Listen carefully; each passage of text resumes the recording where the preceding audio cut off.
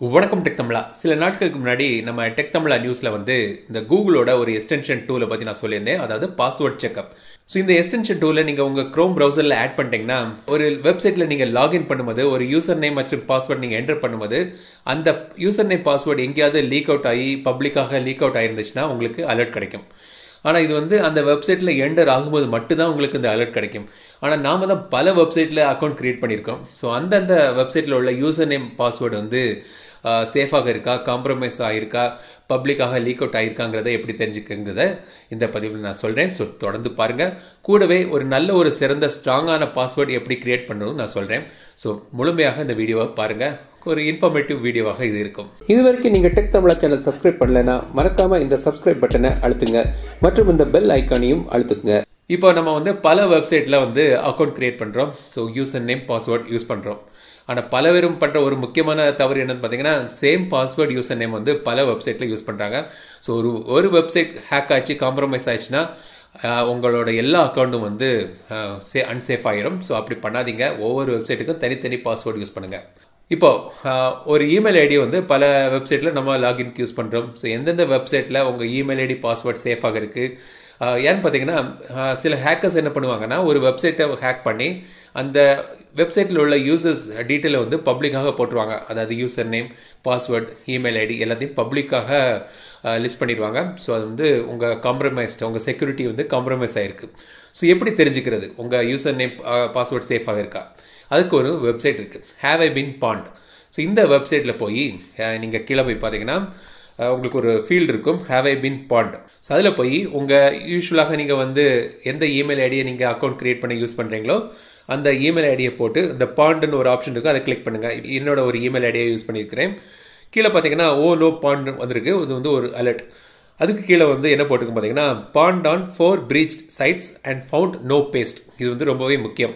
இது என்ன சொல்லுதுன்னு பார்த்தீங்கன்னா நாலு வெப்சைட்டில் நான் அக்கௌண்ட் கிரியேட் பண்ணியிருக்க ஒரு நாலு வெப்சைட்டில் வந்து செக்யூரிட்டி காம்ப்ரமைஸ் ஆயிருக்கு. ஆனால் ஃபவுட் நோ பேஸ்ட் அதாவது என்னோட யூசர் நேம் பாஸ்வேர்டு வந்து எங்கேயும் பப்ளிக்காக லீக் அவுட் ஆகல. ஸோ அந்த அளவுக்கு நான் சேஃப் ஆனால் நாலு வெப்சைட்டில் வந்து செக்யூரிட்டி காம்ப்ரமைஸ் ஆயிருக்குன்னு தெரியுது. நீங்கள் கீழே போய் பார்த்தீங்கன்னா பிரீச்சஸ் யுவர் பாண்ட்னு ஒரு செக்ஷன் இருக்கு. ஸோ இந்த நாலு வெப்சைட் எதுங்கிற பற்றி டீட்டெயில்ஸும் இருக்கு. என்னோட யூசர் நேம் பாஸ்வேர்ட் சேஃபாக தான் இருக்கு. பப்ளிக்காக லிஸ்ட் ஆகல. இருந்தாலும் உங்களுக்கு சந்தேகம் இருந்துச்சுன்னா அந்தந்த வெப்சைட்டில் போய் நீங்கள் வந்து பாஸ்வேர்டை ரீசெட் பண்ணிக்கலாம். ஸோ வந்து ஒரு நல்ல ஒரு வெப்சைட் இது. ஸோ உங்களோட ஒவ்வொரு இமெயில் ஐடியும் இதில் போட்டு நீங்கள் செக் பண்ணிக்கலாம். ஸோ எந்தெந்த வெப்சைட் காம்ப்ரமைஸ் ஆகிருக்கு உங்களோட பாஸ்வேர்ட் யூசர் நேம் சேஃபாக இருக்கா பப்ளிக்காக லிஸ்ட் ஆகிருக்கா அதை பற்றி நீங்கள் தெரிஞ்சுக்கலாம். அப்படி பேஸ்ட் ஆயிருந்துச்சுன்னா உடனுக்குடன் அந்த வெப்சைட்டில் போய் நீங்கள் பாஸ்வேர்டை சேஞ்ச் பண்ணிக்கங்க. ஸோ இது வந்து ஒரு அருமையான ஒரு வெப்சைட் சரி இனி வந்து ஒரு சிறந்த ஒரு நல்ல ஒரு பாதுகாப்பான பாஸ்வேர்டு எப்படி கிரியேட் பண்ணுறதுக்கு இது ரொம்பவே முக்கியம். பலரும் பார்த்தீங்கன்னா பாஸ்வேர்டுன்னு சொன்னால் ஏபிசி ஒன் டூ த்ரீ இந்த மாதிரி ஒரு சிம்பிளான பாஸ்வேர்ட் போட்டுருவாங்க. ஏன்னா ஈஸியாக ஞாபகம் இருக்கும்னு சொல்லிட்டு. ஆனால் ரொம்பவே தவறு. அதை பண்ணாதீங்க. எப்படி நல்ல பாஸ்வேர்ட் கிரியேட் பண்ணுங்கிறத பற்றி ஒரு சில டிப்ஸ் நான் சொல்கிறேன் முதல்ல வந்து உங்கள் பாஸ்வேர்டை வந்து முடிந்த அளவுக்கு லாங்கான பாஸ்வேர்டாக வைங்க. ஏன்னா ஷார்ட்டான பாஸ்வேர்டை வந்து ஈஸியாக கிராக் பண்ணிடலாம். லாங்கான பாஸ்வேர்ட் கிராக் பண்ண கொஞ்சம் கஷ்டம். முடிந்த அளவுக்கு லாங் பாஸ்வேர்டு யூஸ் பண்ணுங்கள் அப்படி லாங் பாஸ்வேர்ட் கிரியேட் பண்ணும்போது முடிந்த அளவுக்கு சம்பந்தமே இல்லாத வேர்ட்ஸை போட்டு நீங்கள் பாஸ்வேர்ட் கிரியேட் பண்ணுங்க.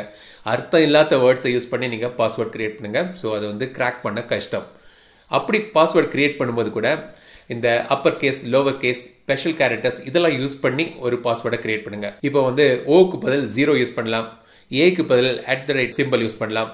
ஸோ இந்த மாதிரி இந்த ஸ்பெஷல் கேரக்டர்ஸை சப்ஸ்டியூட் பண்ணி நீங்கள் பாஸ்வேர்ட் கிரியேட் பண்ணுங்கள் மற்றும் இந்த அப்பர் கேஸ் லோவர் கேஸும் யூஸ் பண்ணுங்கள் ஸோ இது வந்து ஒரு டஃப்பான ஸ்ட்ராங்கான பாஸ்வேர்டாக இது அமையுது. பல வெப் வெப்சைட்டில் வந்து நீங்கள் அக்கௌண்ட் க்ரியேட் பண்ணும்போது இந்த செக்யூரிட்டி கொஸ்டின்ஸ் கேட்பாங்க. அதாவது உங்கள் பெட் நேம் இல்லாட்டி உங்கள் ஸ்கூல் நேம் இந்த மாதிரிலாம் கேட்பாங்க. ஆன்சர் நீங்கள் என்டர் பண்ணும். ஹரிச்சந்திரன் நினச்சிக்கிட்டு நீங்கள் உண்மையான ஆன்சர் அதில் என்டர் பண்ணாங்க ஸோ யாராவது ஈஸியாக அதை கெஸ் பண்ணிடலாம். ஸோ அதுலேயும் பார்த்தீங்கன்னா ஒரு தப்பான ஒரு ஆன்சர் கொடுங்க. ஆனால் ஞாபகம் வச்சுங்க நீங்கள் எது கொடுத்துருக்கீங்கன்னு.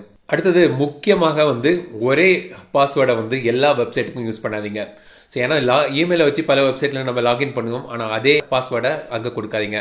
ஸோ ஒவ்வொரு வெப்சைட்டுக்கும் தனித்தனி பாஸ்வேர்டு யூஸ் பண்ணுங்க. இன்னொரு முக்கியமான விஷயம் வந்து இப்போ பலரும் வந்து பேங்கிங் அக்கௌண்ட்டை வந்து ஆன்லைனில் செக் பண்ணுறோம் அந்த பேங்க்குக்கான பாஸ்வேர்டு வந்து ரொம்பவே ஸ்ட்ராங்கான ஒரு பாஸ்வேர்டாக வைங்க. கூடவே அந்த பாஸ்வேர்டை வேற எந்த வெப்சைட்டுக்கும் நீங்கள் யூஸ் பண்ணாதீங்க. ஸோ பேங்கிங் பாஸ்வேர்டை நீங்கள் தனியாக வச்சுக்கோங்க. அதை நீங்கள் வந்து வேற வெப்சைட்டுக்கு யூஸ் பண்ணாதீங்க.